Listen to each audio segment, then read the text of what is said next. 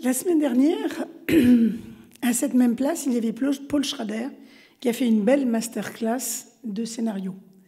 Et euh, après la masterclass, ce monsieur qui a plus de 80 ans est revenu pour présenter Mishima. La petite conférencière que je suis était tout à fait en haut avec son carnet, tremblante, prête à prendre beaucoup de notes pour vous redire ce que Mishima aurait dit. Et quelle n'a pas été ma déception de constater que Mishima n'a dit que deux choses. Pardon, ça commence, ça va être comme ça. Hein. Euh, que Schrader n'a dit que deux choses. Petit 1, Mishima, c'est un film sur A Pathology of Suicide in Glory, qu'on peut traduire par une pathologie, de points, le suicide en gloire. Et la deuxième chose, c'est quant à la façon dont le film est fait, tout est sur Google, allez sur Google. Vous imaginez ma tête. Donc, effectivement, il a raison. Hein. Sur la fabrication elle-même, sur Google, vous trouvez énormément de choses. Donc, je me suis dit, il n'y a plus qu'une chose à faire, c'est se faire plaisir, essayer de réfléchir. Et c'est pas souvent qu'on a cette occasion, et merci au forum de me la donner. Essayer de réfléchir à ce film extrêmement complexe qu'est Mishima. Euh, il, est complexe à beaucoup de niveaux. Euh, d'abord parce que il a choisi comme sujet un romancier extrêmement provocateur qui euh, clive terriblement. On est pour, on est contre, ça soulève des passions.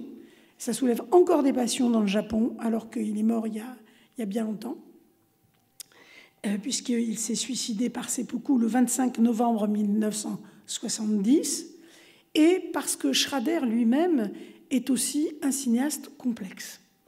Donc les deux cumulés faisaient qu'il y avait assez de matière pour se proposer de se poser des questions. Je ne suis pas sûre de pouvoir répondre à toutes les questions, mais peut-être que je peux aider à mettre en interrogation ce film qui est beau et complexe à la fois. Alors, c'est un film, d'abord, déjà, pourquoi c'est si complexe?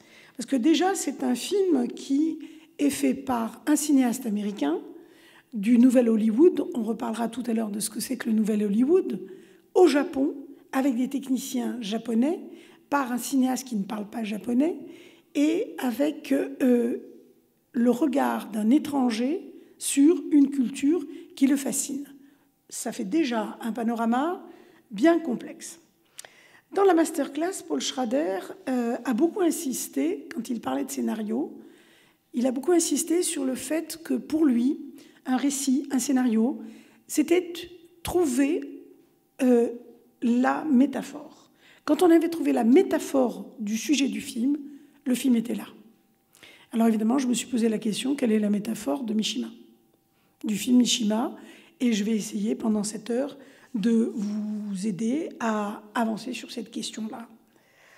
En fait, ce film raconte, parce que certains d'entre vous l'ont vu, d'autres le verront puisqu'il repasse bientôt, ce film raconte la dernière journée de la vie de Mishima en quatre chapitres.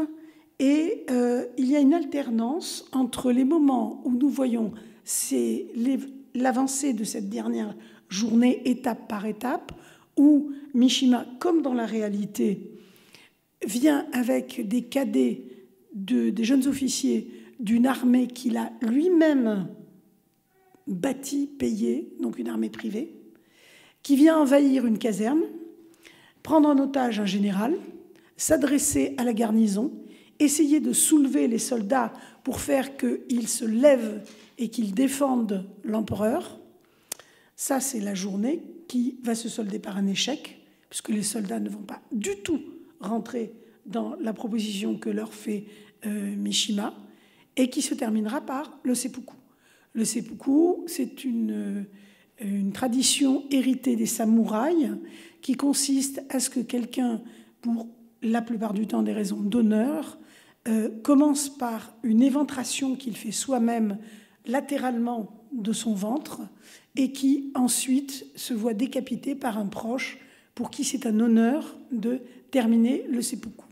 Cette tradition, évidemment, même en 1970, elle est en déperdition au Japon, mais on verra pourquoi elle tient très à cœur à Mishima. Donc, nous avons d'une part cette dernière journée où Mishima va prendre un général en otage, Et nous avons aussi des souvenirs de l'enfance du personnage Mishima qui arrive. Alors comment fait-on le distinguo? C'est visuellement très facile. Tous les souvenirs sont en noir et blanc. Et ils sont filmés dans le style du cinéma japonais des années 30, 40, 50. Et moi, je suivrai Michel Simon quand il dit que le style qui est ici choisi, c'est le style de Naruse. Si vous connaissez ce cinéma, il y a cette délicatesse dans la façon d'approcher les personnages, ce manque de brutalité qui justement va faire contraste avec le troisième élément stylistique, donc quatre chapitres, mais trois éléments stylistiques. La journée traitée un peu comme un documentaire qui arrive au seppuku, les flashbacks sur la vie de Mishima, mais le troisième élément est très original. C'est une sorte d'adaptation que fait euh, Paul Schrader de, de, trois extraits de trois romans de Mishima. Il y a d'abord euh, Le pavillon d'or, puis La maison de Kyoko, et ensuite Chevaux échappés. Et euh, les extraits en question, qui sont dans cette alternance, mais on ne s'y perd pas du tout, hein, sont visuellement extrêmement différents. Ils sont très colorés et c'est très curieux parce que ces couleurs très flashy, on en reparlera, euh, viennent dans un décor absolument stylisé. Et il y a une espèce de contraste comme ça entre la façon dont une esthétique baroque dans la couleur vient nourrir une esthétique ascétique complètement calviniste, complètement minimaliste, qui est celle que l'on voit à l'image. Alors, au-delà du, problème factuel, si on en vient au personnage de Mishima, il a œuvré à devenir une icône pendant sa propre vie, par goût de la provocation, je l'ai dit, et cela va jusqu'à la mise en scène flamboyante de sa mort, parce que ça s'est vraiment organisé de manière à être vu. Et c'est probablement cela que Paul Schrader appelle la pathologie du suicide dans la gloire ou de la gloire par le suicide. Et cette maîtrise jusqu'à la mort a fasciné Schrader. Et je crois que c'est au départ ça qui l'a vraiment intéressé. Et ça l'a fasciné sur au moins, au moins, mais je n'ai qu'une heure, quatre points. D'une part, le Japon et la culture japonaise, qui vraiment intéresse depuis longtemps Paul Schrader, on va en reparler. D'autre part, l'engagement politique, même si ces deux hommes ont des engagements totalement divergents. Puis, en troisième point, la fascination pour l'érotisme esthétisé, via en particulier une présentation de l'homosexualité. Et enfin, et parce que j'ai pris un ordre croissant, vous vous en doutez, une fascination de la pureté, une quête de la pureté qui est liée à un sentiment très vif de décadence, en tout cas chez le romancier japonais. Ces quatre points en commun ont en commun leur exaspération, c'est-à-dire qu'ils sont traités dans tout sauf la modération. Et du coup, ces éléments se croisant, et se croisant en quatre chapitres, sur trois registres de tonalités différents, arrivent à une espèce d'intensité qui explique narrativement qu'on arrive au suicide, qu'on arrive au seppuku. Donc Schrader, lui, trouve dans la vie et dans l'œuvre de Mishima quelque chose de l'ordre du masque, parce qu'on le sait, Mishima a écrit sur le masque. Il, pensait qu'il était important que l'être humain puisse se cacher derrière un masque pour que la vérité puisse apparaître, ce qui est quand même quelque chose que d'autres que lui, Aragon par exemple, ont dit aussi. Et ce masque lui permet de parler de l'artiste qu'il a choisi. Pour cela, eh bien, il a choisi une métaphore. Et la question que je me pose d'ores et déjà, c'est si cette métaphore commence pas déjà par le thème du suicide. En fait, euh, Mishima en a beaucoup parlé du suicide. Il a beaucoup écrit dessus dans son œuvre littéraire, et en particulier dans un livre qui vient de paraître en traduction française il y a un mois, qui s'appelle Vie à vendre, et qui euh, date de peu de temps avant le suicide effectif de Mishima, le romancier. C'est une parodie, une parodie très cynique, euh, dans laquelle on lit par exemple assez vite une petite annonce dans le corps du texte que je vous lis. Je propose une vie à vendre, à utiliser à votre guise. Homme, 27 ans, confidentialité garantie, aucune complication à craindre.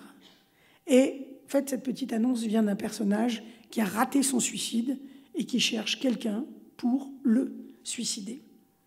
Mais bien avant ce livre, euh, en 1965-66, Mishima avait réalisé un film. Je parle là du romancier qui a réalisé un film en tant que cinéaste. Il n'en a réalisé qu'un seul. C'est un petit peu comme Jean Genet qui a réalisé Chant d'amour. Ce grand écrivain a réalisé un, monolithe isolé qui est un film magnifique. Et j'aurais envie de comparer ces deux œuvres. En tout cas, euh, dans ce film qui s'appelait Patriotisme, Yukoku, le film a été euh, jusqu'à peu très difficile à voir techniquement, euh, pour des raisons assez simples que quand même je voudrais vous dire. C'est que la veuve de Mishima, à la mort de Mishima, a fait le nécessaire pour que les copies du film disparaissent. Elle a cherché à faire disparaître deux choses. La représentation du seppuku, la représentation en d'anticipation, parce que dans le film, Mishima se fait seppuku aussi, ce qui est une anticipation de la vie, enfin de sa mort réelle en 1970. Et elle a cherché aussi à effacer des traces de l'homosexualité de Mishima, qui est très très très visible dans, euh, ce film. Ce film est un moyen métrage euh, vous savez, quand on connaît les cinémathèques, on sait qu'il y a des passionnés dans les cinémathèques qui, gardent envers et contre tout des copies, même quand on leur a dit de les brûler. Et j'ai posé la question pour être sûr que je ne disais pas de bêtises à Paul Schrader. Je lui ai demandé, vous avez bien vu le film? Parce que je n'avais pas envie de m'avancer devant vous sur des hypothèses euh, personnelles euh, non, non avérées. il m'a dit, oui, oui, bien sûr, absolument, je l'ai vu. Donc ça veut dire qu'il y avait une cinémathèque américaine qui avait gardé quelque part une copie et que Schrader en a bénéficié. D'ailleurs, quand vous voyez le film Yukoku et que vous voyez le film de Paul Schrader, il y a des références très précises qui sont euh, une révérence du cinéaste hollywoodien au cinéaste réalisateur et romancier japonais. Je ne résiste pas au plaisir de vous dire que à la mort de, euh, je ne me réjouis pas de la mort de cette femme, mais juste c'est l'anecdote qui me réjouit. Euh, à la mort de la veuve de Mishima en 2005, la même année, on a curieusement retrouvé une copie dans une boîte à thé dans la maison de Mishima. Donc la copie qui existe maintenant et qui est en DVD, qui est sortie en DVD au Japon et ensuite aux États-Unis, a donc été libérée du poids de la censure qui avait été posée par cette femme sur cette œuvre. Euh, donc, euh, il, est, parti sur ce film qui l'a beaucoup impressionné, je crois. Ce film est court, je l'ai dit, c'est un moyen métrage. Il est en noir et blanc.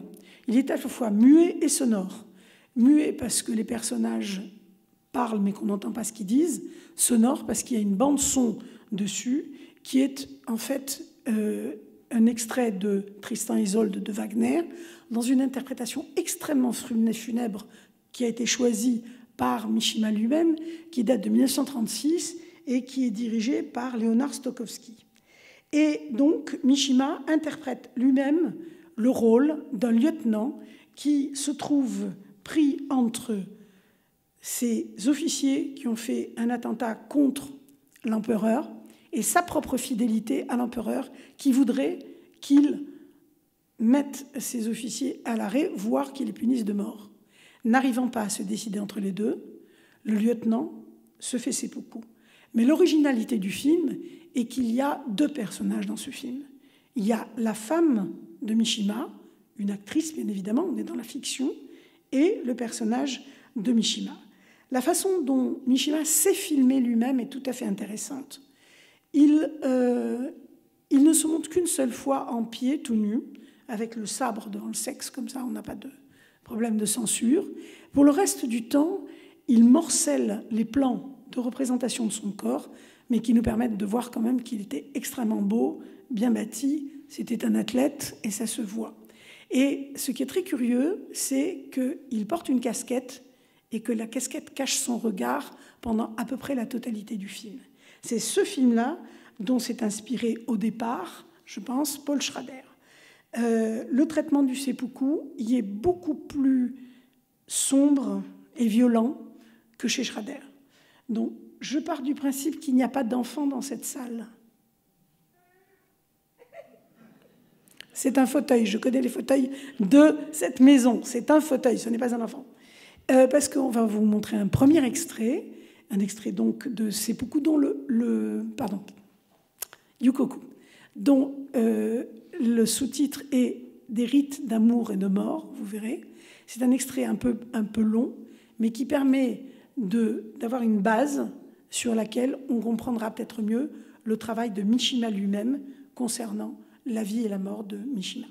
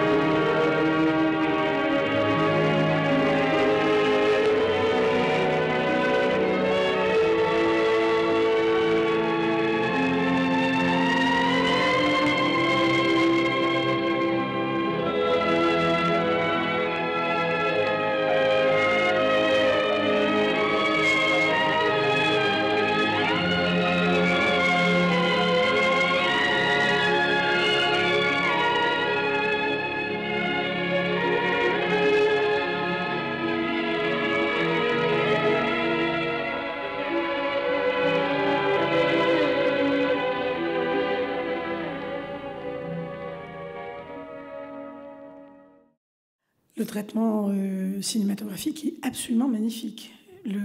C'est très violent, c'est vrai, mais c'est d'une force. On se dit, il n'a fait que ce film-là, mais s'il en avait fait d'autres, c'est pour ça que je pense vraiment à Jean Genet, ça aurait été euh, absolument extraordinaire. On a d'un côté l'héritage de tout le cinéma classique japonais, et c'est sur le personnage de la femme, qui est très beau et qui est filmé. Vous voyez, quand je vous dis Naruse, on pourrait dire Ozu aussi, d'une certaine manière.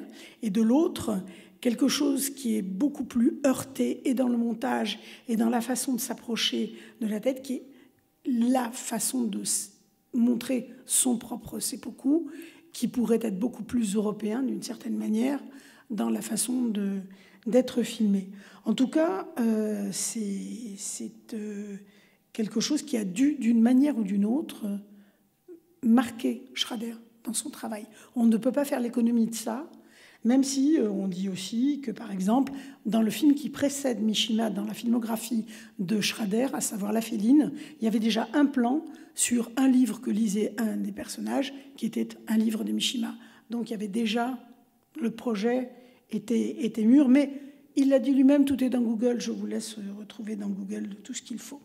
En tout cas, euh, cette situation narrative qui conduit au suicide, euh, c'est quelque chose qui va intéresser euh, Schrader avec une base que d'habitude je n'aime pas utiliser, mais que là je vais utiliser parce que je trouve que ce serait chipoté de ne pas le faire.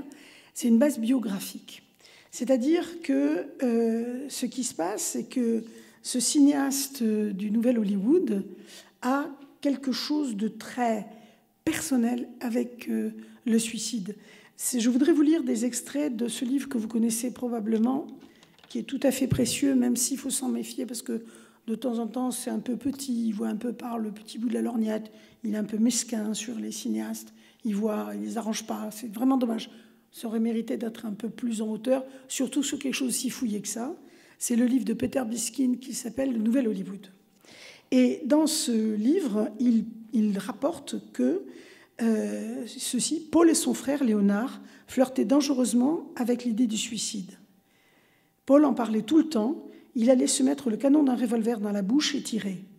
Après s'être au préalable enroulé une serviette autour de la tête, précisait-il, afin de ne pas foutre le bordel dans la pièce. Il ne le faisait pas. Mais ce jeu avec la, le suicide, on comprend que ça prélude à son intérêt sur Mishima. Par ailleurs, corollaire de cette obsession, d'une part, il y avait l'obsession, mais vraiment l'obsession, l'addiction aux armes. Et on ne comprend pas Taxi Driver, dont vous savez que Paul Schrader a écrit le scénario, puisque Paul Schrader a d'abord été scénariste, en particulier sur Taxi Driver, mais aussi avec, euh, avec d'autres grands cinéastes, que ce soit pour Raging Bull, La dernière tentation du Christ. Mais dans euh, le premier scénario qu'il a écrit, donc, qui est Taxi Driver, si vous ne savez pas que Paul Schrader, dans sa vie quotidienne, passait son temps avec un revolver sur la table de travail et un dans une commode au cas où il serait surpris, euh, c'est quelque chose qui rend moins compréhensible tous les plans sur les armes à l'intérieur de Taxi Driver. Mais si vous regardez dans Mishima, il y a une fascination, je parle du film là maintenant, il y a une fascination pour le sabre. Il y a des moments où il y a une, appréciation esthétique de la qualité du sabre qui va servir au seppuku, qui est directement héritière de cette euh, fascination, de cette euh, obsession. Mais c'est vrai que ça va aussi avec le côté autodestructeur, qui est celui du chauffeur de taxi, euh, Travis. Ce n'est pas moi qui invente, même si j'en suis persuadée. Euh, en tout cas, c'est Paul Schrader qui fait la comparaison. Il dit que dans Mishima, il y a du Travis ou inversement. Effectivement, que ces deux personnages sont très très proches. Moi, je rajouterais que on retrouvera ça aussi, et on en reparlera un peu plus tard, dans le dernier film qu'il ait fait jusqu'à présent. Il y en a d'autres qui sont en chantier, on espère qu'il y en aura beaucoup d'autres, qui s'appelle First Reformed sur le chemin de la rédemption. Je vous en parlerai tout à l'heure. Il y a aussi une fascination des armes. Vous avez un pasteur qui regarde un gilet explosif avec euh, des étoiles dans les yeux. C'est la même chose euh, que l'on retrouve. Et alors, quand je vous disais que j'allais parler un petit peu de la vie privée de, de Schrader, et ce sera la seule fois, c'est parce que dans la vie de Schrader, comme c'est un fait assez important, je me permets de le signaler. Ce n'est pas une anecdote euh, banale, vous allez en juger vous-même. Dans sa vie, Paul avait 6 ans quand son oncle s'est suicidé. Cinq ans plus tard, le fils aîné de cet oncle s'est suicidé. Et cinq ans après, jour pour jour, le fils cadet de cet oncle s'est suicidé. Donc c'est vrai que dans une famille euh, où ça pèse autant, forcément, ça peut faire un terreau d'intérêt. Maintenant, un autre cinéaste, un autre écrivain aurait réagi différemment à ce passé biographique. Mais en tout cas, euh, il faut rajouter aussi que, et ça pèse beaucoup, et il l'a dit lui-même, Schrader, à ce micro, la semaine dernière, il a eu une éducation calviniste extrêmement puritaine, avec, euh, avec euh, sanctions, coups de fouet, coups de, coup de latte, comme moyen éducatif. Euh, il a eu une éducation fondée sur la contrition, liée à l'Église calviniste dont, euh, à laquelle ils étaient affiliés dans la famille, et cette, prédisposition euh, à la fascination vient en partie aussi de cette question-là. De son côté, Mishima a lui aussi écrit, bien évidemment, sur la question euh, du suicide, et pas simplement sur la fiction. Il l'a écrit aussi de manière théorique.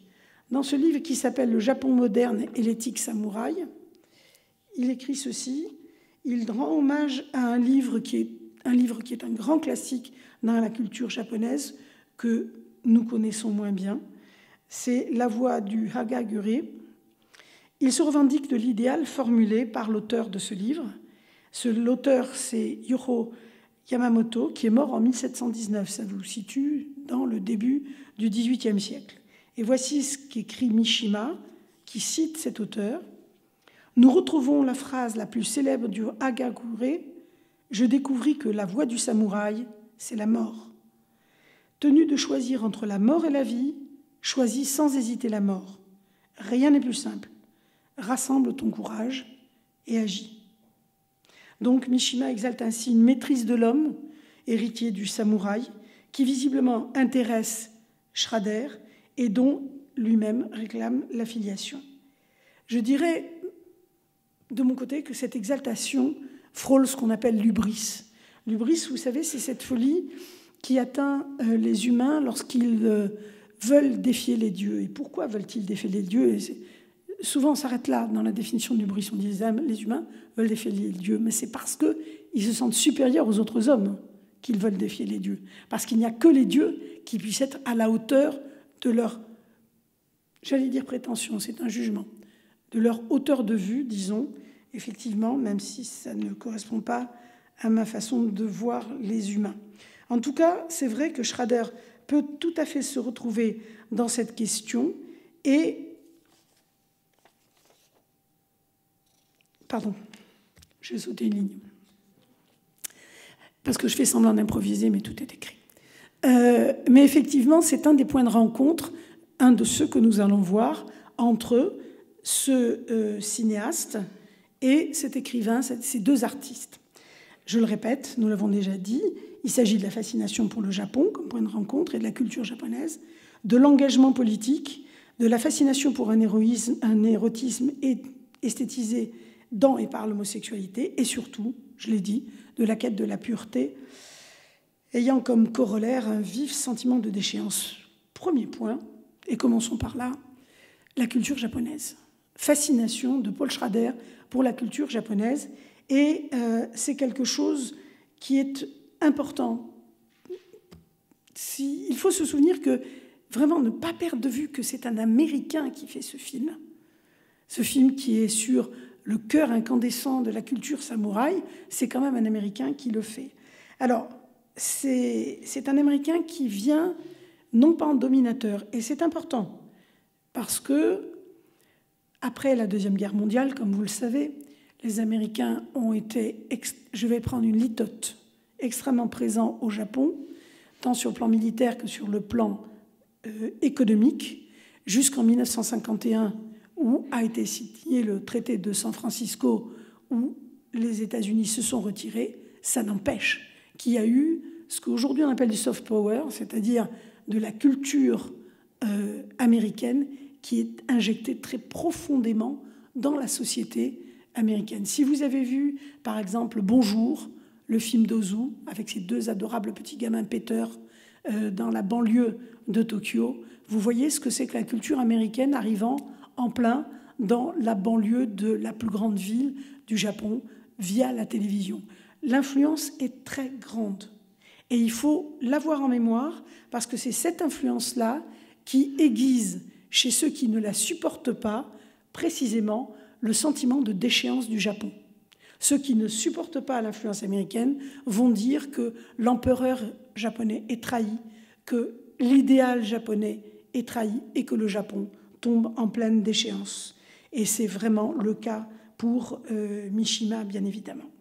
Alors, euh, les premiers scénarios de Paul Schrader, euh, parce que Taxi Driver, c'est son scénario, mais c'est aussi. Enfin bon, je vais pas revenir sur. Je ne parlerai que de Taxi Driver si je m'écoutais. Donc, euh, un des premiers scénarios de Paul Schrader, non réalisé par lui, mais réalisé par Sidney Pollack, c'est un film qui s'appelle Yakuza. Ce film est sorti en 1975 et le déroulant du début évoque, ouvrez les guillemets, un code d'honneur aussi rigoureux que le bushido du samouraï. Le bushido étant la tradition du samouraï qui va jusqu'au seppuku. On y voit un Américain, et pas n'importe lequel, Robert Mitchum, s'il vous plaît, qui est traité d'étrange étranger et qui erre dans les rues et qui gère une, une, affaire, un faux thriller, enfin passons, sur l'intrigue. Ce qui nous intéresse ici, c'est comment le scénariste Paul Schrader, qui a un frère qui vit au Japon et qui donc lui transmet la culture japonaise, comment il écrit euh, l'errance de Robert Mitchum dans les rues euh, d'une ville euh, japonaise. Et c'est intéressant parce que Pollack le, le, film presque de manière documentaire, et on va en voir un extrait maintenant. C'est vrai que ça, va, ça va même assez loin, c'est-à-dire qu'il y a dans le film Yakuza deux plans sur quelque chose que vous connaissez peut-être, qui est le Shikansen. Ça vous dit? C'est le grand train à grande vitesse qui euh, était plus fort et bien avant euh, le TGV français et qui fascinait le monde entier. Ce train à grande vitesse, on le voit à deux reprises dans le film, aucun intérêt narratif, aucun, si ce n'est fascination pour la culture japonaise. Je vous propose qu'on voit un petit extrait de euh, la façon dont le Japon est filmé à partir d'un scénario de notre ami Schrader.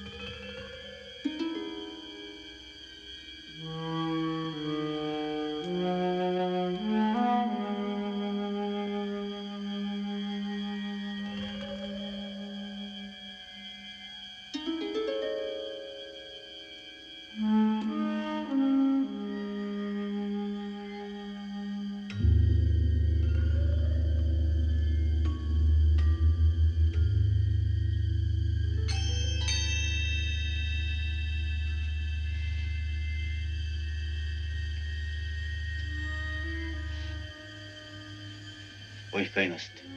杏さんからお控えなさい。それでは仁義になりません。まず杏さんからお控えなすって。言葉に甘えて控えさせていただきます。早速のお控えありがとうございます。ご一等さんごめんこむります。私生まれは関西です。当時住居は神田におります。都政につきましては親なし子なしの一匹狼です。生命の義加藤二郎と申しますよろしくお頼申します。ご丁寧に恐れ入ります。私遠野組若者秋山勝です。ご同様よろしくお願いいたします。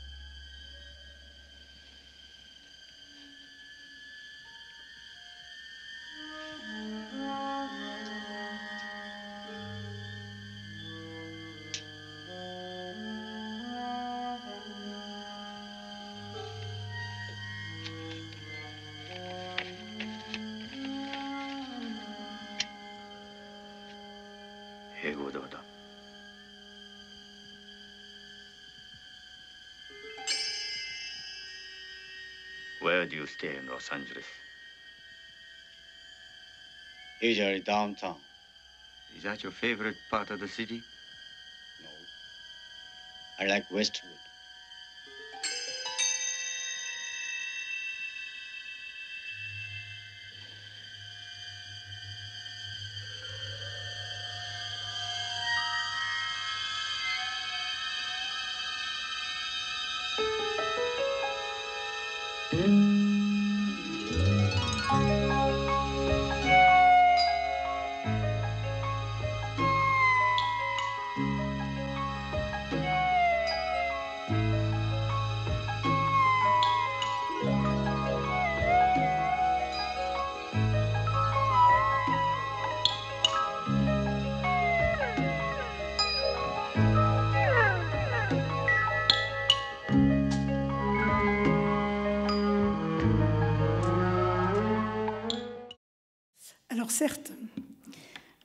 Il filme les rituels, les présentations, qui sont inhabituels, avec le corps penché, la main en avant, l'échange des lettres de, de, créance, mais ça reste quand même extrêmement folklorique. Je veux dire par là qu'il y a une tentative documentaire, mais ce que, ce que euh, Paul Schrader va faire avec Mishima est à deux lieues, trois kilomètres au-dessus de ce que fait Pollack. Et d'ailleurs, les deux frères, quand ils parlent de ce film, disent que ce film is a very commercial idea. C'est une idée très commerciale. Donc en fait, ça n'empêche pas la fascination, mais c'est une espèce de coup d'essai. Hein. Et ensuite, ce que va faire euh, euh, Schrader sera infiniment plus respectueux de la culture, euh, de la culture japonaise.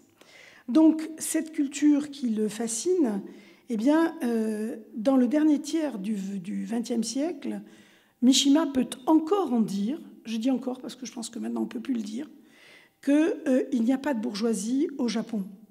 En 1966, le romancier, dans un entretien avec euh, Jean-Claude Courdry, affirme qu'il y a trois classes dans le Japon.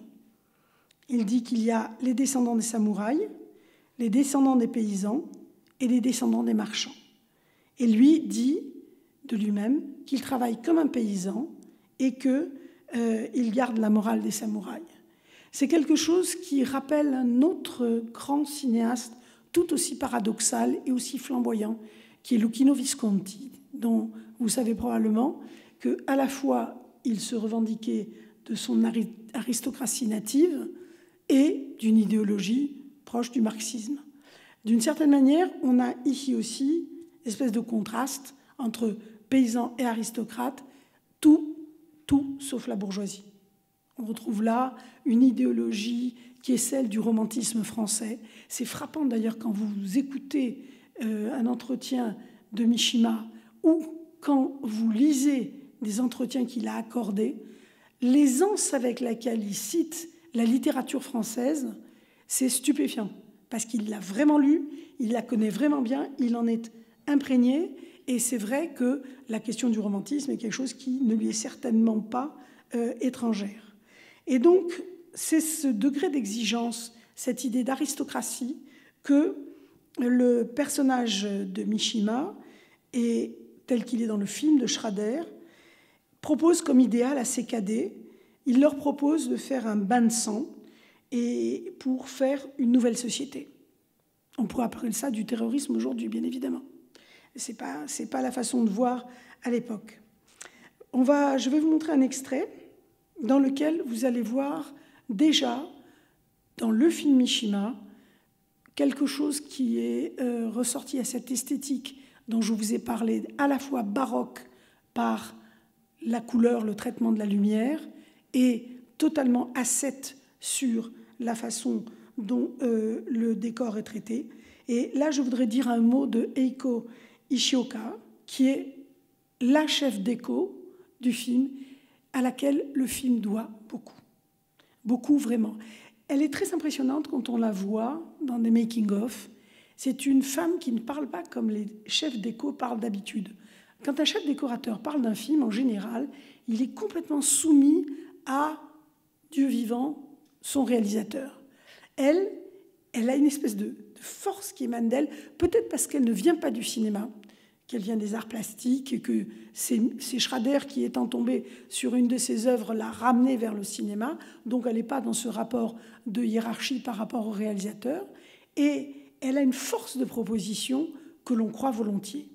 Elle a beaucoup travaillé avec quelqu'un dont je n'ai pas encore parlé et dont il faut absolument parler, qui est Philippe Glass. Philippe Glass, le compositeur américain dont vous connaissez probablement, certainement, Einstein on the Beach, qui est une, un opéra qui, de, de 7-8 heures, oui, 7 ou 8 heures au moins, euh, qui, dans les débuts des années 70, a marqué. Je peux vous dire qu'à Paris, quand euh, c'est passé, euh, il y a eu avant et après. Hein, la façon dont cette musique de type répétitif, incantatoire, envoûtante, était présentée avec la scénographie de Bob Wilson, il y a quelque chose de très très fort qui s'est passé. Schrader est allé chercher Philippe Glass. Et il est allé chercher pour Mishima très tôt. C'est-à-dire qu'en fait, il y a eu un travail de Schrader avec Eiko euh, Ishioka sur les décors et que c'est allé au point que quand Philippe Glass a composé la musique, il avait les, différents plans des décors d'Eiko sur le piano pour inventer euh, et, faire sa composition musicale.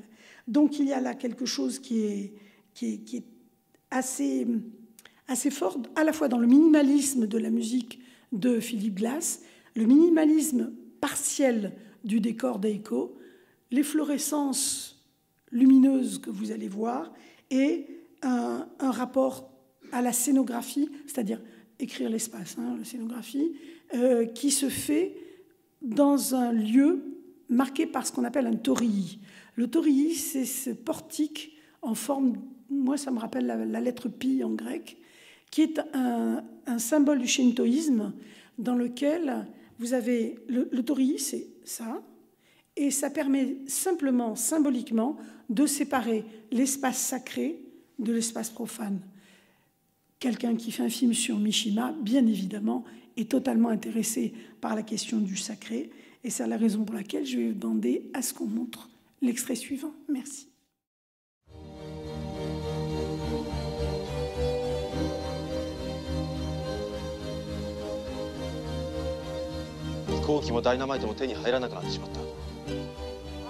もう軍とは縁が切れたんだ軍人なんて今やみんな財閥の犬なんだ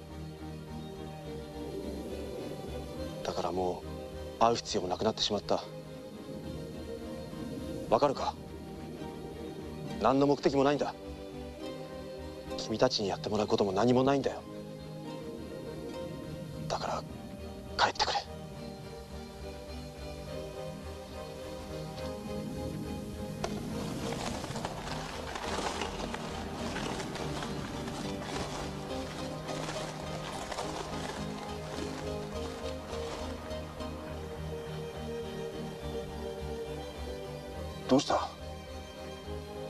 これだけ言ってもまだ分からんのか。計画は中止だ。もう何の望みもないんだよ。分かってます。じゃあ君らは命を懸けようというんだな。何の期待も希望を持たずに。何もないかもしれないんだぞ。はい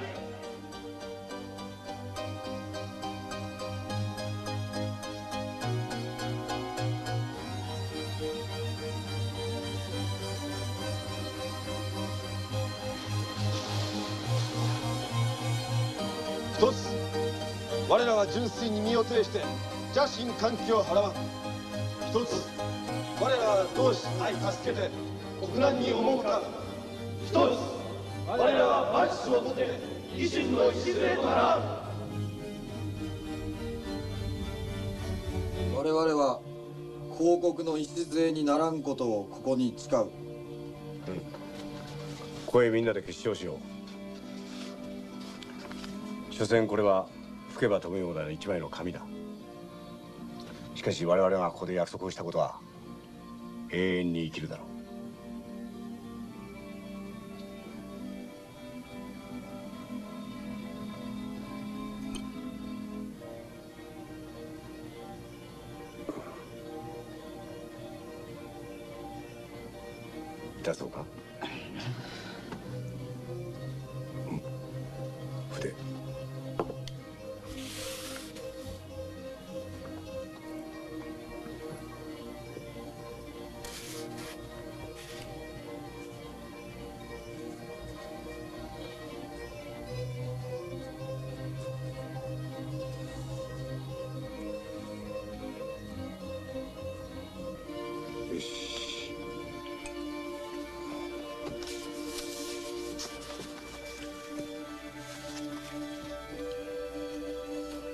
決勝が終わったら会の結成を祝ってみんなでこれを飲み干そうはい、はい Donc pour ceux d'entre vous qui n'ont pas vu le film déjà, vous voyez les deux espaces euh, euh, temporels, narratifs et esthétiques qui, qui se jouxtent.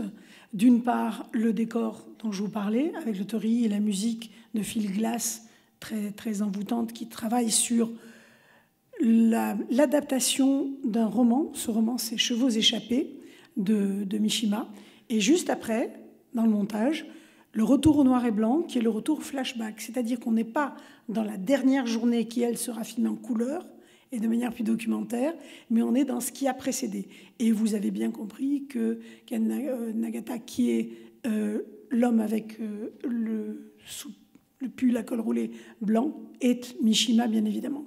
On retrouve cette, cette idée d'une idéologie extrêmement forte autour de valeurs qui sont pensées comme patriotiques. Souvenez-vous, le titre du seul film de Mishima, c'est Patriotisme, euh, qui sont sur l'idée du sacrifice, l'idée de travailler ensemble en confrérie, des valeurs extrêmement viriles, n'est-ce pas? Et qui font que euh, c'est quelque chose qui est traité dans la fiction là, mais dans la fiction, dans la fiction. Puisqu'effectivement, ce sera retraité à la fin de Mishima, dans la réalité, avec des cadets pareils qui vont essayer de défendre l'honneur de l'empereur, mais je vous parlerai après de la façon dont ça se passe dans la version de Schrader, si j'ose dire.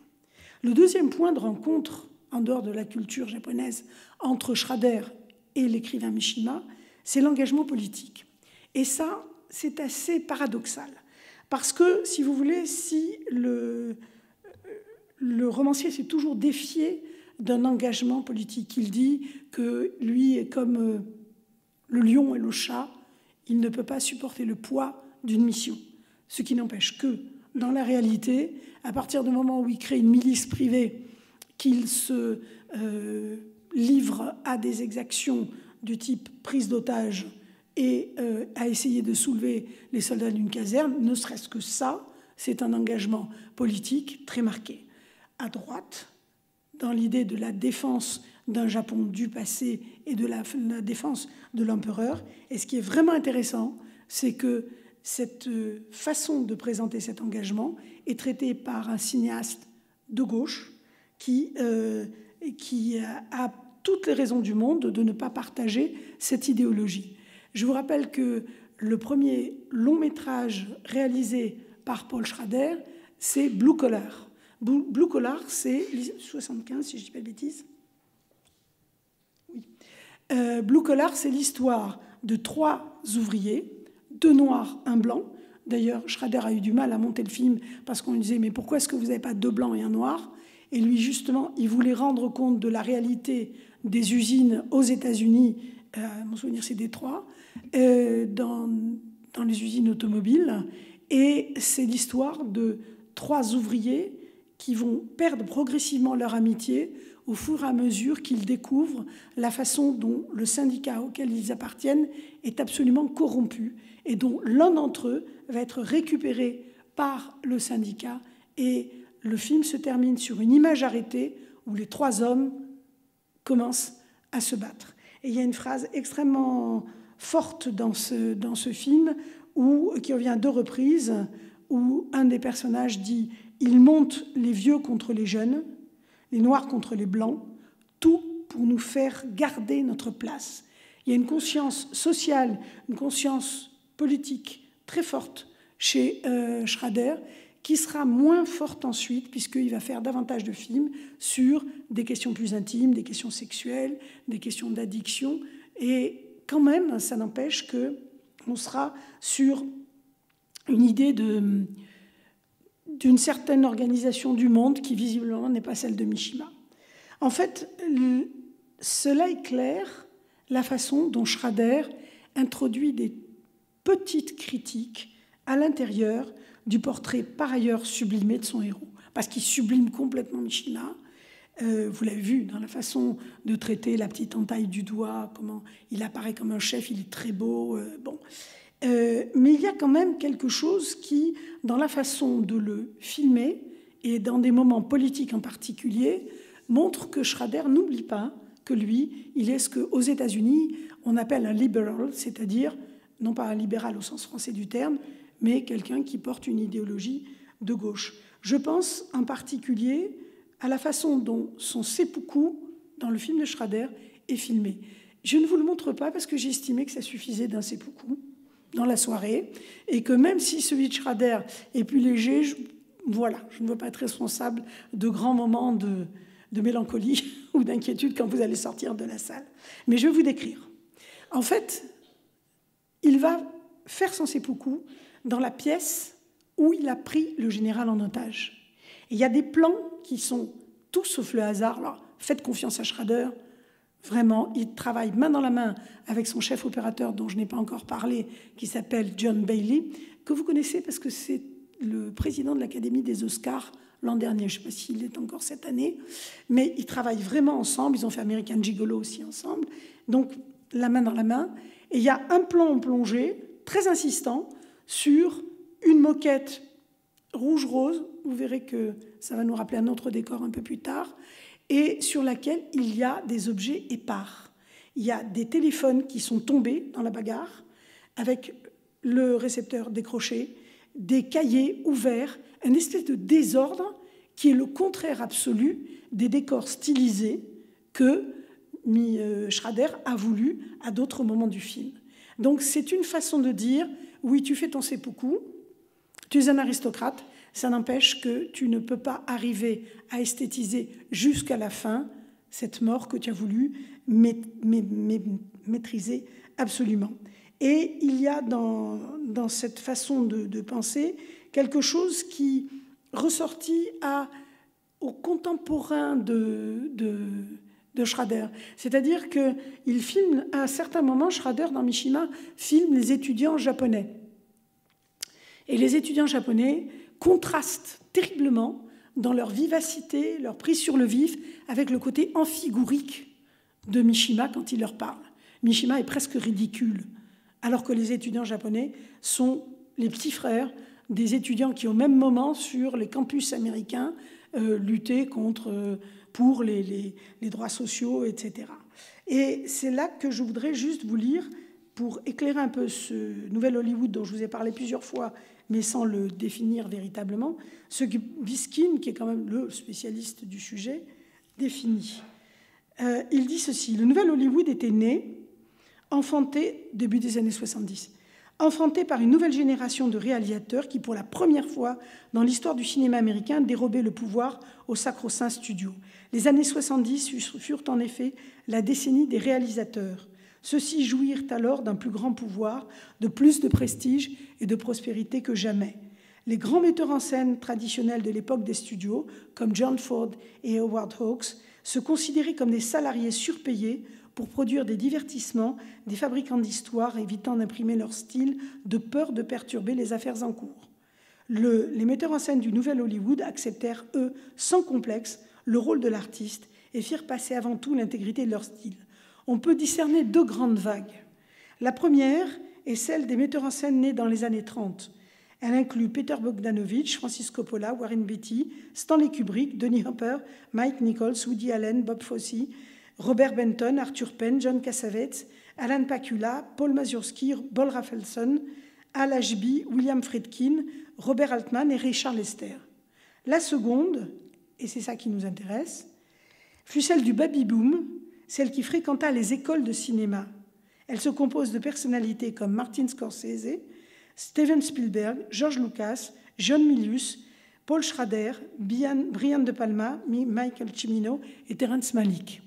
C'est important parce que je ne vais pas vous parler, puisque le maître a dit que ce n'était pas la peine, c'était dans Google, mais je vais quand même juste l'évoquer, de la façon dont le film a été financé. Vous avez Lucas et Coppola au générique, et croyez-moi, ils ont été très présents. Parce que filmer au Japon sur une personnalité aussi controversée que Mishima a été tout sauf simple. Avec la veuve au milieu aussi, c'était ça n'était pas simple, ça n'a rien à rajouter du tout. Donc j'aimerais bien là maintenant qu'on voit l'extrait numéro 5 pour aller dans le sens de ce que j'avance.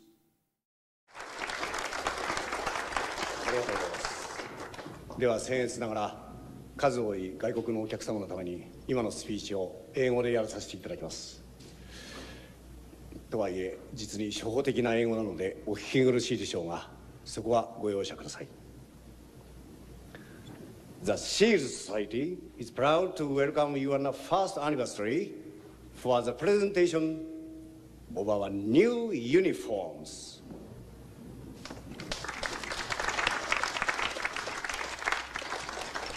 We are a standby army, an army of seals to protect His Imperial Majesty.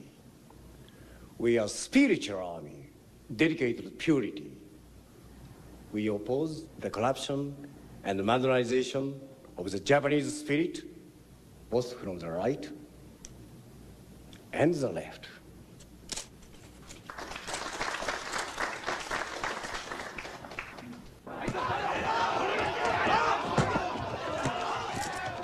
A month after the radical left occupied Tokyo University, they challenged me to speak. The police warned they could not guarantee my safety. For a moment, I felt I was entering the realm where art and action converge. For a moment, I felt alive.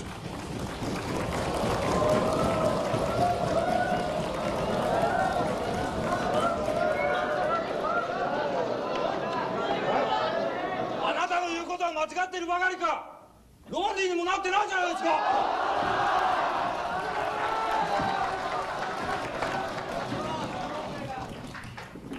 の通り行動しようとは思ってない。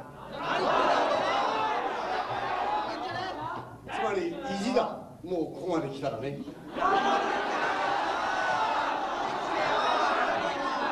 これは諸君に論理的に負けたってことを意味しない。つまり諸君が天皇天皇と一言言ってくれれば僕は喜んで諸君と手をつなぐんだい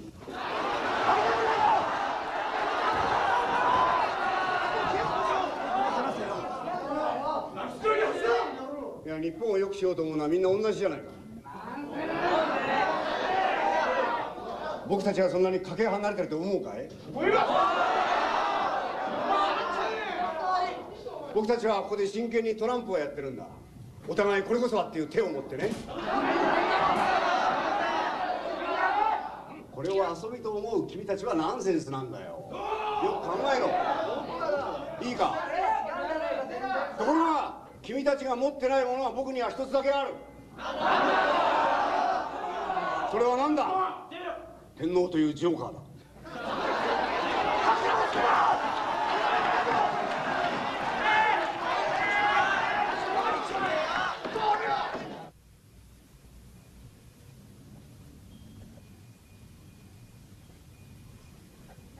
Sitting alone at my desk at midnight, as I had every night for 20 years, I felt empty. Then again came the words. Effortlessly, urgently. Again, the rehearsal began. 金曜夜10時だしかし毎日の場合に備えていつでも決行できるように準備するんだいいな 何か意義のあるものは個人的都合でもあれば死ぬと決めたものに個人的都合なんてありますか？よしいいな。じゃあ倉原邸付近の地図は？セリカがそうだよ「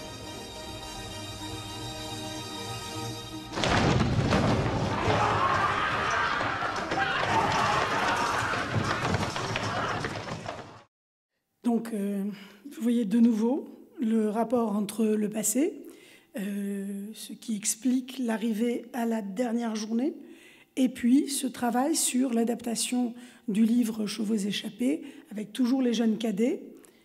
En fait, on, passe d'un registre narratif à l'autre sur la même histoire, mais traitée stylistiquement de manière extrêmement différente. Ce qui est important là, c'est qu'il y a euh, la conjonction entre ces deux artistes. Et non seulement elle est sur le Japon, non seulement elle est sur l'idée du politique, même si ils sont diamétralement opposés, mais la question du politique, vous l'avez vu, est importante. C'est clair, il n'y a pas besoin de développer. Je veux dire que euh, Schrader est du côté des étudiants. le personnage de Mishima est ridicule. Et c'est fait partie de ces quelques moments, il y en a très peu, hein, méfiez-vous, je, les ai sortis du contexte dont vous pouvez avoir l'impression qu'il y a beaucoup de moments où Schrader critique Mishima. Non, il y en a très peu, mais je voulais que, en donner conscience. Et effectivement, c'est quelque chose qui trouve aussi une liaison avec le dandisme, avec cette espèce de d'élégance affirmée. Vous avez vu la cigarette euh, de ce formidable acteur qui est Kanogata, qui joue euh, Mishima, qui laisse à penser qu'effectivement, il y a une, présence de la sexualité à tous les niveaux, y compris au niveau du politique. C'est effectivement en se posant encore désirable que le personnage de Mishima se présente devant les étudiants, et c'est quelque chose qui, évidemment, suscite d'autant plus le rejet. Euh, cela traite bien sûr, euh, cela pousse à traiter bien sûr de la question du traitement de l'homosexualité. Dans le film de Schrader, la première apparition de cette question de l'homosexualité est assez vite, au début du film, dans un des moments de flashback en noir et blanc, quand le petit garçon, qu'est Mishima regarde un livre de peinture et tombe sur une représentation d'un Saint-Sébastien qui se tord de manière lascive sous l'effet des flèches. C'est vrai qu'on s'est présenté comme une peinture sadomaso. Hein.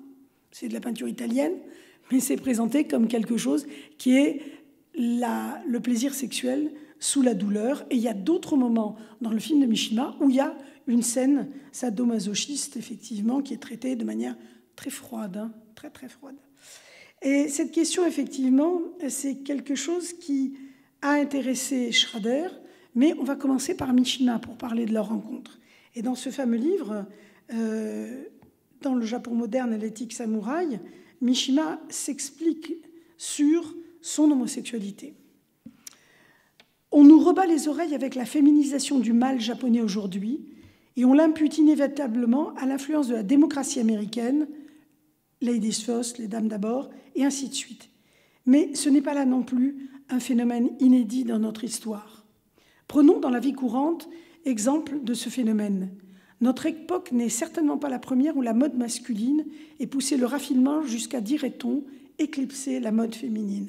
Le spectacle qu'offrent aujourd'hui les jeunes gens entichés de la silhouette cardin n'est pas inédit dans l'histoire japonaise. Pendant la période Genroku, c'est en 1700, 13e année de cette période, que Yoho s'est retiré du monde. Un goût pour le clinquant et la magnificence ostentatoire s'empara du cœur des hommes et affecta non seulement leurs vêtements, mais jusqu'à la courbure de leurs sabres et l'ornementation de ces sabres et de la dague qu'ils portaient accrochée du four, au fourreau. J'en profite pour m'excuser auprès de tous ceux qui parlent japonais dans la salle je sais que je prononce très mal et j'en suis désolée. Je n'ai eu personne pour me conseiller sur comment prononcer correctement les noms de ces, ces, personnes auxquelles on fait réflexion, auxquelles on fait référence. En tout cas, cette question de l'esthétique et la sexualité qui passe par le vêtement chez Mishima, on la retrouve chez Schrader. Je vais vous proposer de voir maintenant euh, des est-ce que je saute ou pas? Non. On verra un petit peu plus tard. Donc, euh, chez, Mishima insiste, et en 1966, dans un entretien, il dit L'homosexualité est au Japon un sentiment plus ancien, plus naturel que l'amour entre les deux sexes, mais cette longue tradition a été rompue par les, missionnaires américains qui se sont installés au Japon au XIXe siècle. Donc c'est une affaire de culture. Pour Schrader, la question est moins évidente. En 2003, dans un film qui s'appelle Autofocus et qui traite de l'addiction au sexe, il parle de l'attirance entre Greg Kinnear et William Dafoe. Et cette attirance fait l'objet d'un coup de poing, parce qu'il y a un moment où euh, la virilité de l'un ne supporte pas l'idée qu'il y a un désir sexuel entre son ami et lui. Par ailleurs, euh, on ne s'en étonnera pas en avançant que le cinéma de Schrader est centré sur des personnages masculins en gloire. C'est vrai. La, plupart des personnages, euh, sauf dans la féline, euh, du cinéma de Schrader sont d'abord des héros masculins, sont des héros solitaires.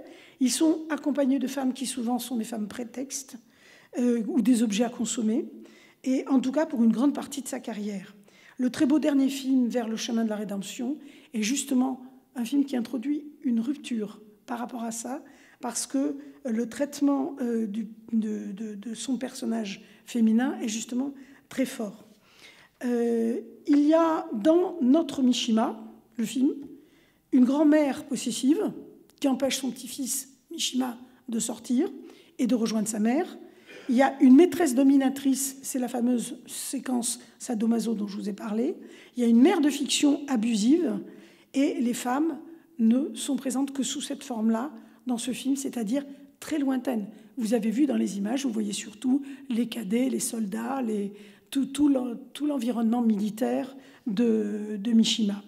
Et euh, on peut donner d'ailleurs la parole à Schrader lui-même, parce que peut-être êtes-vous en train de vous dire que j'exagère dans ma façon de présenter Schrader, mais je pense qu'il vaut mieux que ce soit lui qui le dise.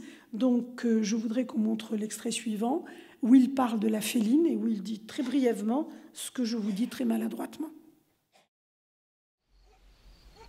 I grew attracted to this Beatrice myth, which comes from Florence in the 15th century, where Dante saw Beatrice in church in the pew ahead. And, and, and even though he never ever spoke to her, he wrote volumes about her. She was only 14 at the time.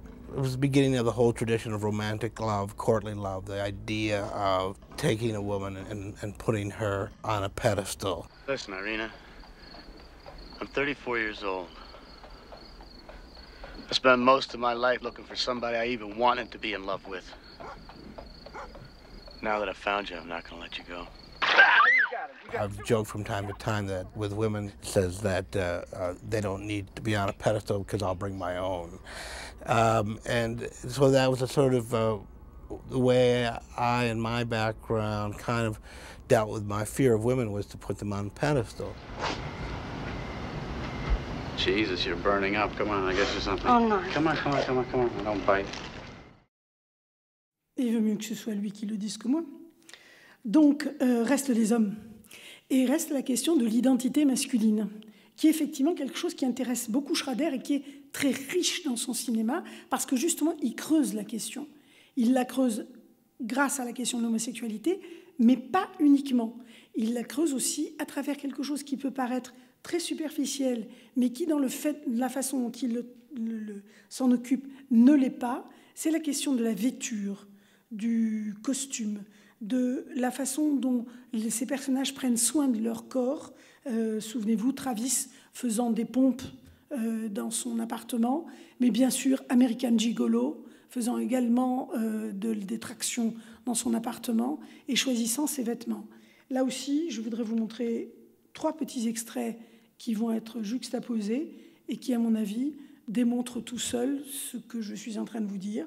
C'est en premier extrait, vous avez une scène d'American Gigolo, qui est un film de 1980, une scène de Mishima et une scène du dernier film sur le chemin de la rédemption.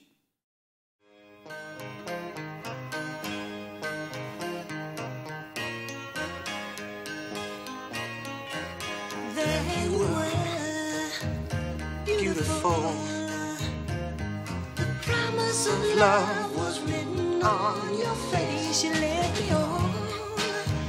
time she kisses.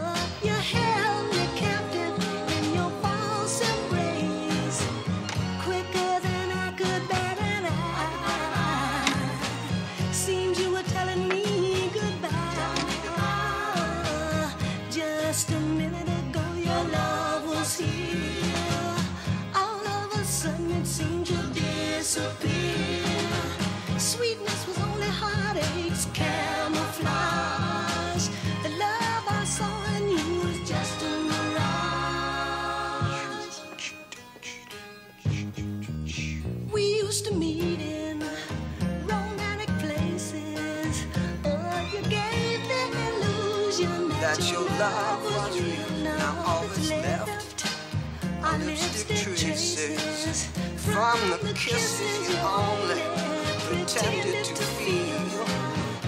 And now our meetings you avoid. And so my world you had Destroy.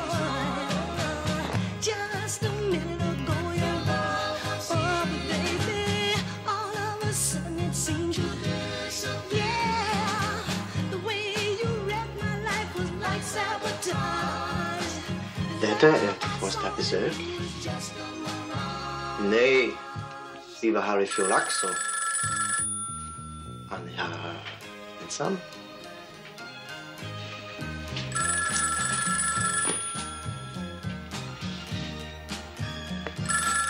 Ja.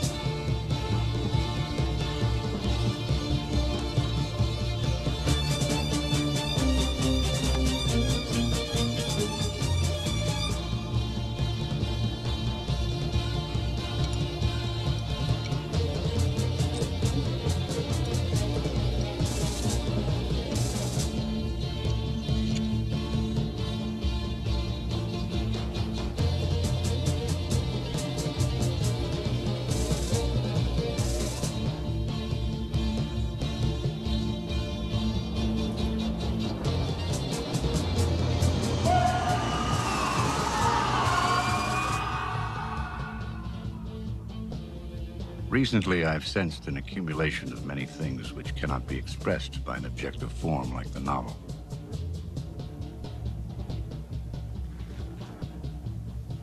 Words are insufficient.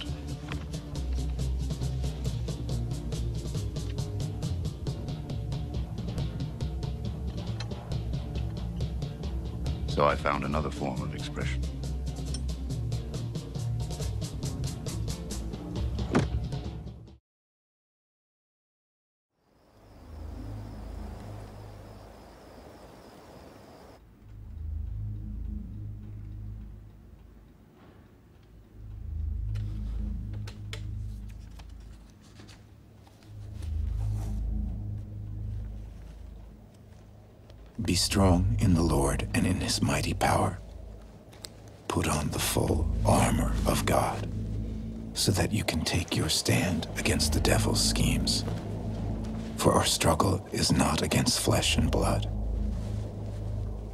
but against the rulers, against the authorities, against the powers of this dark world.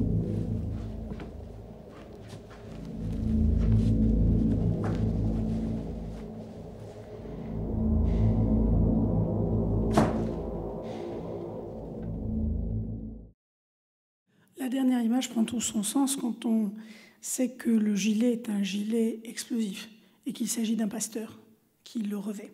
C'est la force du dernier film qui est euh, largement euh, calqué sur euh, le journal d'un curé de campagne de Bresson, puisque vous savez que Schrader se réclame beaucoup de, Bresson.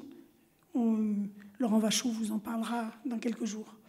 Donc, ça nous envoie, bien sûr, sur ces extraits, à, à ce que euh, Schrader a écrit dans sa jeunesse sur le cinéma transcendantal, celui d'Ozu, de Bresson et de Dreyer.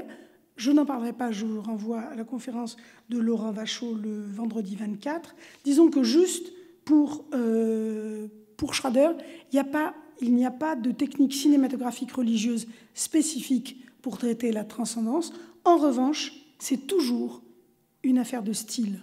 C'est pour ça que la question des décors tels qu'il les a voulus est aussi importante. C'est pour ça que la question de l'esthétique est aussi importante dans le film. Alors, Chantal et moi, nous allons vous montrer, bien que le temps file, quelque chose que je remercie Chantal Gaillard d'avoir trouvé. C'est la preuve que cette esthétique de Schrader marque véritablement. Il y a un plan que vous avez vu tout à l'heure, que vous allez revoir maintenant dans une publicité. Cette publicité a été tournée par un proche de Schrader, Martin Scorsese.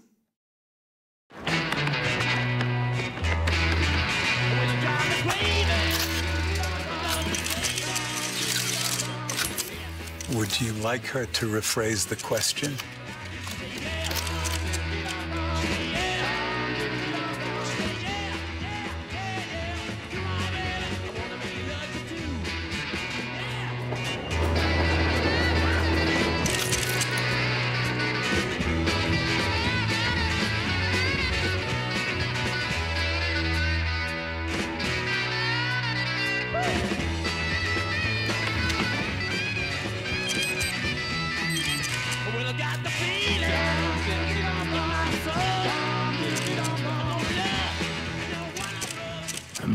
Be the person I'm expected to be anymore.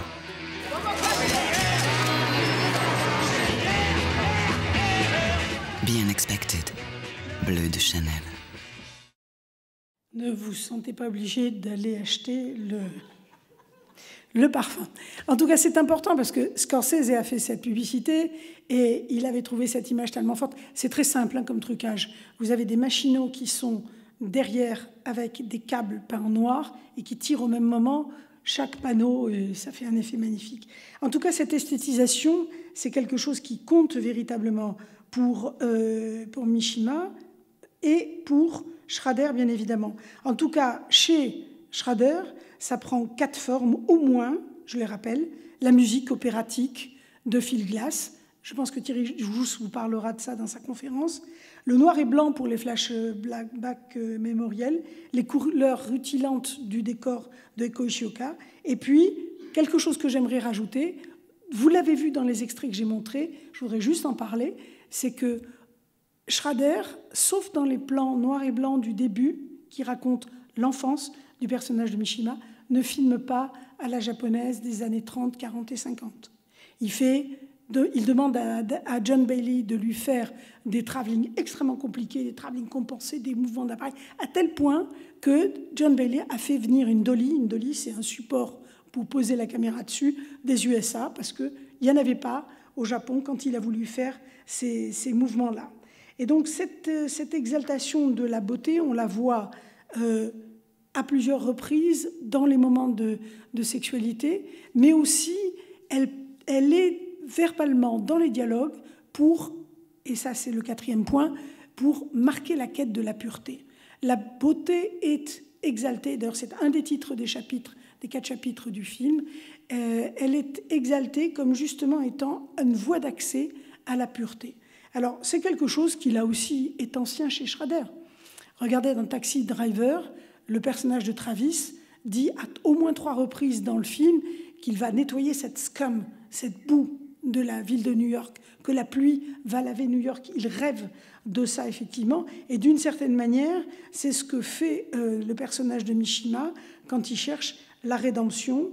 Euh, et c'est quelque chose qu'on retrouve à plusieurs reprises dans l'œuvre générale mais ce qu'il faut souligner, c'est que Schrader, qui s'intéresse à cette question de la spiritualité, évite l'écueil majeur de, des films qui parlent de la transcendance, qui est la bondieuserie, le saint-sulpicianisme, les images trop jolies, trop léchées.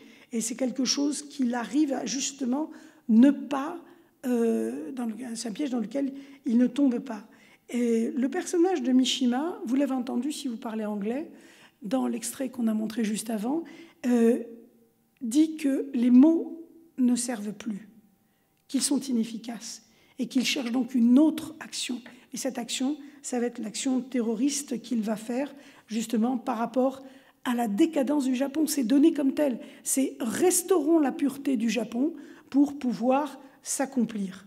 Et donc, euh, Mishima, qui a minutieusement organisé son propre, son propre suicide, à la fin, euh, en arrive à s'effondrer. Et Schrader termine son film avec le retour de- des trois personnages, des trois moments dans les décors très vifs et très baroques qui étaient tirés des romans. Et ce sont trois personnages masculins qui vont mourir à l'écran devant le disque rouge d'un soleil. Vous savez que c'est le- l'emblème du Japon qui euh, sont ici donnés comme étant le- les moments culminants. En fait, il s'agit bien sûr d'un suicide et il s'agit d'une rédemption par le sang, la recherche de la pureté par le sang. Euh, J'ai besoin de vous dire que certaines idéologies extrêmement euh, totalitaires se sont réclamées de cette euh, idéologie du sang, de la pureté par le sang. Non, bien sûr. Ça n'est pas le cas de Schrader. Certains se sont emparés de Mishima pour lui faire dire cela. Je ne suis pas assez spécialiste de Mishima pour savoir si dans son œuvre, oui ou non, on peut aller jusqu'à cette accusation. Mais en tout cas, c'est vrai que euh, des épigones, dans les dernières euh, décennies, s'en sont servis. Euh, ce qui est important de dire, c'est que Schrader, qui est un homme marqué dans ses opinions libérales par une connaissance vécue des addictions, c'est quelque chose qui se mêle, est d'autant plus intéressé par la question de la pureté. C'est quelqu'un qui a sombré dans l'alcool à un point que vous n'imaginez pas, qui a sombré dans l'addiction aux armes, à la drogue, peut-être au sexe, ça je ne sais pas. Et en tout cas, c'est quelqu'un qui ne peut pas être de plein pied avec cet aristocrate qui pourtant le fascine. Et c'est là qu'on voit comment justement, je vous en ai parlé à deux, trois reprises, et vous l'avez vu, des moments de critique discrète de Schrader sur son personnage masculin font que il essaie à la fois de le rendre dans la beauté et la magnificence de cette icône que s'est construite l'homme Mishima, mais en même temps, il ne peut pas s'empêcher de se détacher de cet aristocrate si méprisant pour le reste du monde. Et dans la représentation du sexe à l'intérieur du film Mishima, euh, on, a, quelque chose des rituels de mort et d'amour, le sous-titre de patriotisme, qu'on va retrouver à peu près euh, au même moment que patriotisme a été fait dans un autre film japonais, L'Empire des Sens, d'Oshima, sauf que dans le film d'Oshima, on est au premier degré tout le temps, ce qui est laudatif dans ma bouche. C'est-à-dire il n'y a aucune distance, là où chez Schrader, il y a ne serait-ce que la distance d'une image glacée et froide. Le sexe chez Schrader n'est pas, à mon avis, torride du tout. Donc, euh, ces films de Schrader, il faut les voir depuis euh, le point de vue très composite de son cinéaste, qui est fait de culture américaine calviniste, d'une cinéphilie extrêmement vive. Je ne vous en ai pas parlé, mais reportez-vous à la conférence qu'Olivier Père a faite il y a quelques jours ici même, où il a démontré à quel point euh, Schrader se servait en référence, mais visuelle, du cinéma d'auteur euh, européen. Mais c'est vrai aussi que c'est quelqu'un qui est fasciné par le Japon, nous l'avons dit. C'est pourquoi, quand il filme le suicide, il ne l'a pas glorifié. Et euh, c'est quelque chose qui permet à la fois de montrer que Schrader essaie de faire une hagiographie et se retient de le faire. Et c'est peut-être dans ce moment-là, dans ce mouvement-là, qu'on pourrait voir la métaphore que cherchait Schrader. C'est la raison pour laquelle je m'adresse là aux projectionnistes. Je passe directement à l'extrait numéro 9, s'il vous plaît. Et vous allez voir dans cet extrait qui est tiré des chemins de la rédemption, comment Schrader, et c'est pour ça que je suis très admirative de ce dernier film, comment Schrader est capable de mettre en scène ses propres contradictions à travers ses personnages, cette recherche de la pureté au contact de l'impureté? Et qu'y a-t-il de plus impur qu'une cuvette des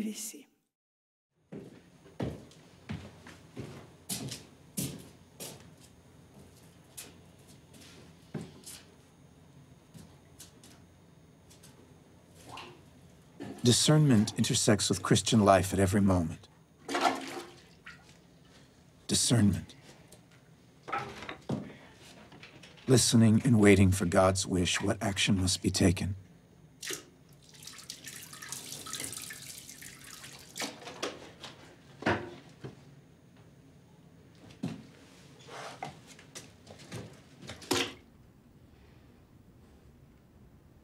My petty ailments have made me bad tempered.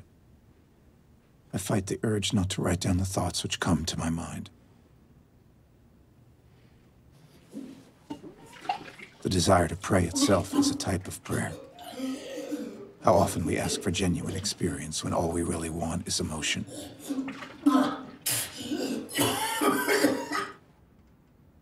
My hands shake as I write these lines.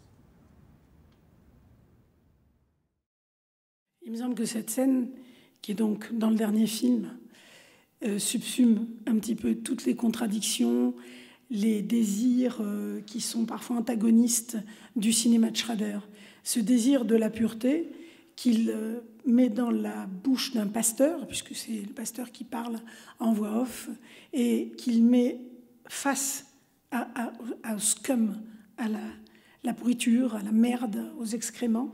C'est quelque chose qui me semble assez bien résumer la façon dont il a travaillé ses propres contradictions et dont, in fine, j'oserais dire que cette fameuse métaphore que Paul Schrader dit être à la base de tout scénario, c'est bien celle de Mishima étant la métaphore du cinéaste Paul Schrader. Merci.